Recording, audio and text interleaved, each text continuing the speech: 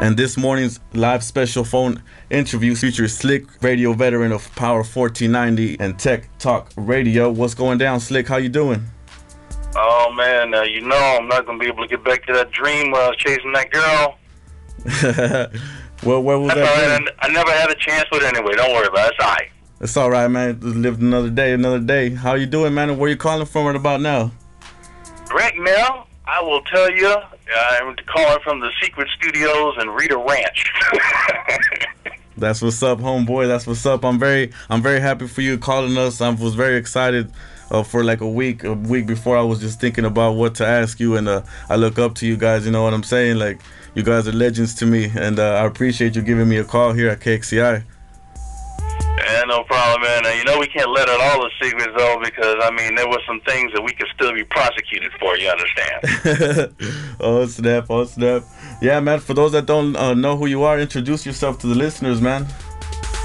Well, let's see. Uh, first time y'all have ever heard me here in Tucson, I arrived in 1980 because of my first ex-wife out at Davis Monthan Air Force Base. I was I was on some radio stations, too many to mention because I've been fired all over this town. But where I was, uh, where I guess I was the most infamous, if you will, I started out doing mornings on Power 1450, which was KKPW. Uh, I think it was back in the late 80s with Rich Brother Robin and them.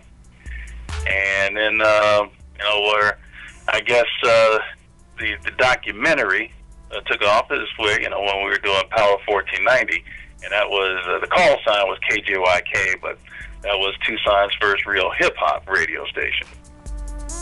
How cool was that whole experience, and uh, uh, what did you learn from all that? And uh, how did it feel to be part of the music movement here, especially hip hop in the early '90s?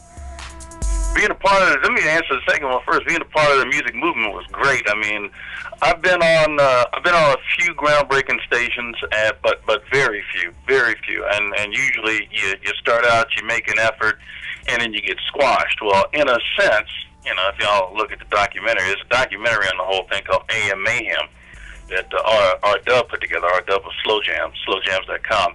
Um, you know, we had we had a good run. I I I got my uh, my wake up call as soon as I landed because I was doing mornings in Denver at at a soul station KDKO in Denver, and uh, yeah, of course, got fired there.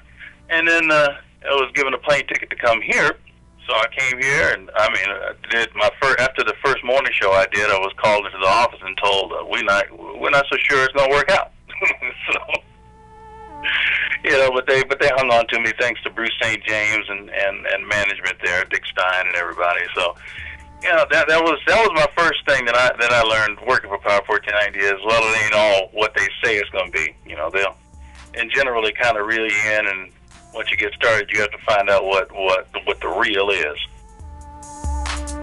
Definitely, it's on the history books now, man. And uh, that AM Mayhem is a real good documentary, man. I, I just watched it a couple of days ago. It's uh, like a history lesson for me, especially me, uh, you know, in the hip hop movement here. And I was gonna ask you, uh, do you do you think uh, there's a state of emergency in the in the radio industry? What do you see in uh, today's radio world as opposed from back then? Uh, I'm I'm I'm sadder, I guess. I'm just sadder, and it's big. And this is this is you know aimed at straight at commercial radio, commercial radio stations, because that's that's what they're supposed you know supposed to do. They're supposed to make a buck and then and give some profits back to their shareholders and stuff like that. But at the same time, as I, as I keep preaching to everybody, I just I just hope somebody will take up arms and go at it. At the same time, if you look at their their directives from the FCC, from the Federal uh, Communications Commission, they're supposed to serve the community. They're supposed to serve the public. They're supposed to serve the audience, and people let a lot of them get away with not doing that. You know, whether it be music and news, or you know, talk programs or whatever. But instead of taking you know taking control of what belongs to the people, you know, they just kind of just switch off or, or just you know walk away or whatever. And remember, all the airways belong to you. They belong to you. That's you know a good example is right here at KXCI. I mean, you know, they're they're a station that's intended to serve the public, and they go at it the best as they can. Now, like I said, you know, the FCC has told the radio stations that you can have the airways, you can borrow the airways, but you got to serve the public. So no, don't forget that. It belongs to you. Definitely, definitely. And uh, we were talking about earlier about uh, uh, in New York about Power. Uh, was it Power? What what's the name of the station over there? And they were closing it down, something like that.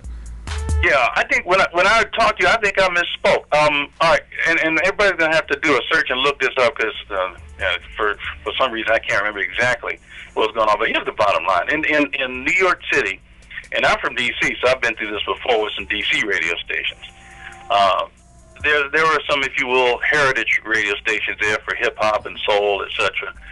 And I believe I, I said BLS when I was talking to you. I believe it was KISS. I think the call sign used to be WRKS. And what happened was uh, the company, I'm sure I got the company right, cause called Emmis Communications. Uh, they decided that you know that they're tired of, of fighting the fight, and so they sold what was what's called the intellectual property, if you will. Um, you know, the music list, the, the, the in a sense, the, the personalities, all that stuff to a competitor and change their station to sports talk on FM. So, in a sense, you know, from from my view right now, at least when it comes to FM radio in New York, you really only got one FM hip hop station, if you will, and that's that's Hot 97. And I think uh, BLS picked up the intellectual property. WBLS picked up the intelle- intellectual property from what used to be Kiss FM.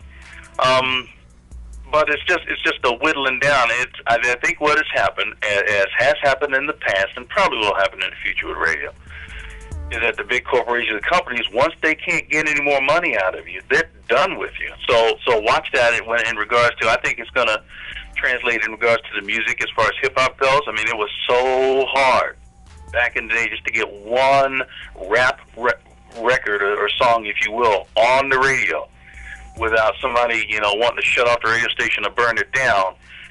And then we had, you know, so much out there, but it's gotten to the point to where, in my opinion, I think, you know, it's all mass produced for money now. So at some point, it's going to swing the other way where we're going to lose a lot of it. You know, they're just going to say, well, we're not playing it anymore. In a way, do you think uh, hip hop is is a music genre that gets discriminated against because of uh, of what it talks about? Um, no, I you know, it, I, I want to say yes. At the same time, the answer really is no because, well, again, I, I think it came down to money because at first nobody wanted to hear it. Nobody wanted to hear that it's you know it's storytelling and it's an art form and and it's in its own you know and that it had its place in the world. But then, like I said, when they realized they could make a buck off it, off of it, oh, now all of a sudden it's all right, you know, until it's not all right anymore. Yeah, you. It's. I think it'll come. You know, because it just every everything has its circle. I think it'll come to a point where they figure they can't get enough money out of it, and then they go to what's next, whatever next is. Yeah, we'll see what happens in the upcoming years, man. And uh, what advice can you give somebody like me or anybody else that's trying to get in the in the industry as far as DJing, music, whatever, producing, engineering? What advice could you give a youngster like me? You know what I'm saying, and everybody out there that's listening. Yeah, I think, in my opinion, I think you gotta you gotta pick a pick a path, and, and I say that just because of my successes and failures. I did radio and still will do radio if I can uh, for the love of it. I just I love radio. I just love radio. So I've done it. I've done it for, as a living. I've also done it for free.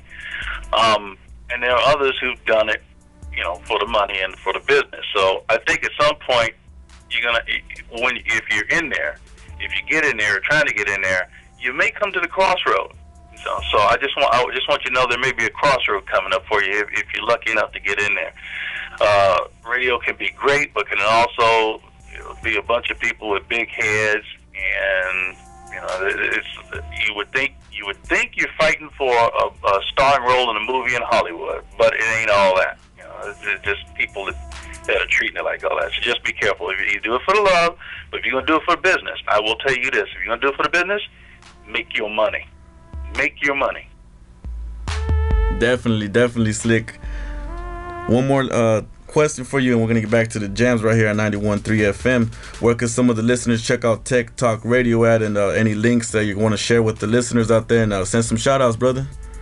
All right. Well, first of all, I am trying to make a comeback. Uh, it's, it's been slow and long, but if you hear me screaming and yelling on a frequency in town, it could happen. It could be me. It just might happen to be.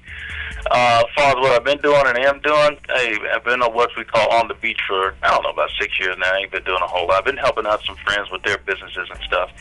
I'd tell you about it, but, but then I'd have to kill you. Um, on the on the internet, uh, me and Andy, Andy's been letting me do TechTalkRadio.com with him. Check that out. Um, I've also got a Twitter account. It's you know Twitter.com forward slash Slick. Uh, been involved in the Tech Buzz out of uh, Pennsylvania. I've been doing Radio Exiles. I've been, I let's forget Radio Exiles. I was doing it with my old morning show partner, Robert. And I want to warn you, it's it's unfiltered, and it's more us whining than anything else, to be honest with you. Just something we get to do once a week.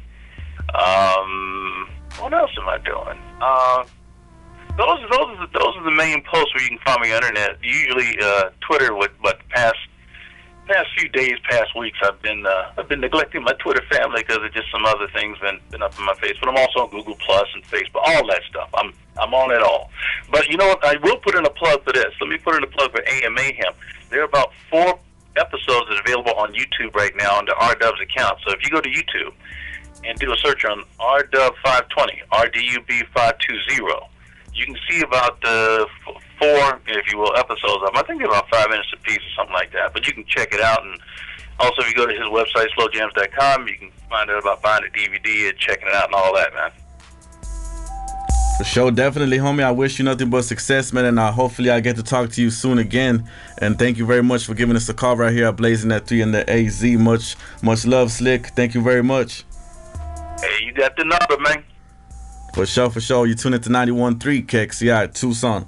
Real people, real radio. Peace, Slick.